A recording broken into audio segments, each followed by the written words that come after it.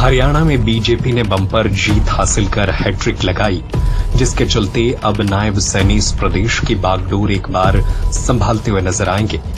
ऐसे में वो शपथ ग्रहण से पहले ही पूरी तरह से एक्शन मोड में आ गए हैं। और हरियाणा के युवाओं से किए वायदे को पूरा करने के लिए जुट गए हैं, जिसके चलते उन्होंने टीजीटी अध्यापक के कार्यग्रहण के आदेश जारी कर दिए हैं। हरियाणा सरकार ने टीजीटी अध्यापकों के लिए पत्र जारी किया है, जिसमें लिखा है कि विषयांकित मामले में आपको लिखा जाता है कि जिन विभिन्न विषयों के नवनियुक्त टीजीटी अध्यापकों को निदेशालय द्वारा नियुक्ति पत्र जारी किए जा चुके हैं, परंतु आदर्श आचार संहिता लागू होने के कारण और अन्य किसी कारणवश कार्य ग्रहण नहीं कर पाए। ऐसे सभी नौ चयनित अध्यापकों को तुरंत प्रभाव से नियमानुसार कार्य ग्रहण करवाना सुनिश्चित करें।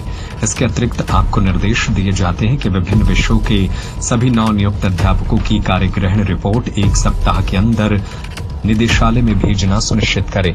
बता दें कि चुनाव से पहले सीएम नायब सैनी ने हरियाणा की जनता से वादा किया था कि वो चुनाव के बाद सीएम पद की शपथ से पहले पच्चीस हज़ार नौकरियों को पूरा करने का काम करेंगे, जिस पर खरा उतरते हुए उन्होंने इसकी शुरुआत टीजीटी अध्यापकों को पदभार ग्रहण के ऑर्डर जारी कर अपने वादे को पूरा करने की शुरुआत कर दी है। गौरतलब है कि हरियाणा में बीजेपी जीत हासिल करते ही अपने पूरे एक्शन मोड में है।